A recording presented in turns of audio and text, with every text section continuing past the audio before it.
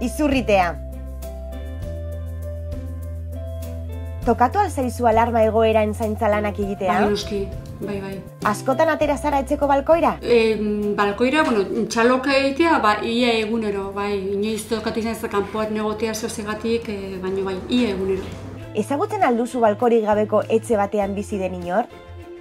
Bai, eta oso gogorra da. Zuri-zuri atera dira. Itzialdian, nork egiten zituen erosketak zuretzean?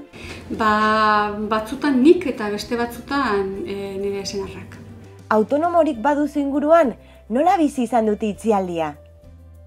Bai, autonomoak dauzkat, bai enpresa munduan eta bai arte munduan. Eta argun, ba, ardura, ardura hundiarekin, noski. Bai. Lurraldetasuna. Arabakoa, Bizkaikoa eta Gipuzkoakoa ez den Euskal Herriko leku gutxun bat. Iratxe, Lizarran ondo ondagona. Noiz zeharkatu duzu Kantabriako mugazken aldiz, lanekoa ez den bidaia batean. Ba, ez daukat buruan, horrek nahi du esan, denbora asko dala, baina buruan bintzat ez daukat. Eta Nafarroakoa? Nafarroara, ba, iruñen egon nintzen, baina oindale hilabete batzuk, bai. Eta Ipar Euskal Herrikoa? E, oso gutxi joten naiz. Garai baten nahikotxo joten ditzen, bai, endaiera batez ere, baino aspaldi honetan ez. EITB. ETB bateko zer saio dituzu guztukuen? Ba, egi esan ni oso telebista ikusle txarra naiz. Nahi esan ez nik telebista ikasko ikusten. Beraz, ez dauzkate nire buruan e, saioak. Tokatzen danean, nire, nire umeak dira telebistaren jadeak. ETB bateko albiztegia, ala ETB bikoa? E, biak, baina albisteak batez ere nik irakurri egiten ditut. Irakurlea naiz gehiago ikuslea baina. ETB baten eta Euskadi irratian, azpidatzi edo itzuli gabe jarri beharko lituzkete erdarazko adirazpenak? E, nik ez zio zerrein behar dela derrigorrez, badakiu danok ulertzen deula, hori badakiu, baina e, nik uste hizkuntzaren normalizazio horretan bere balore simbolikoa daukala. Euskaldunek Euskaraz egin beharko lukete ETB bin eta Radio Euskadin?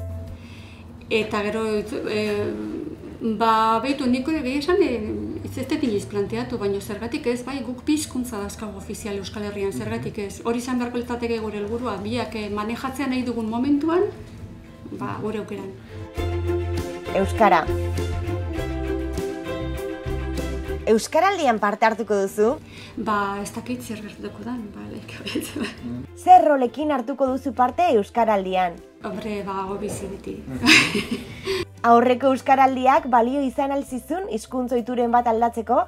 Zein? Niri ez, baino bai somatu den niri inguruan batzuei bai aldatu egin zaiela eta ba, batez ere belarri presten e, hortan, hor bai nik e, ikusi diala eragina jukizuela. Nik uste oso kanpaina politia izan zela, eta nik uste eragin korra gainera bita.